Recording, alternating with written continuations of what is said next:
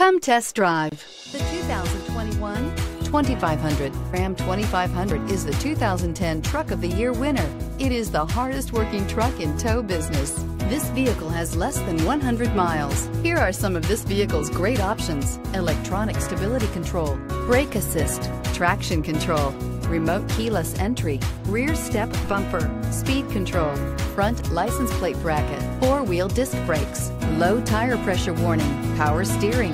This beauty will make even your house keys jealous. Drive it today.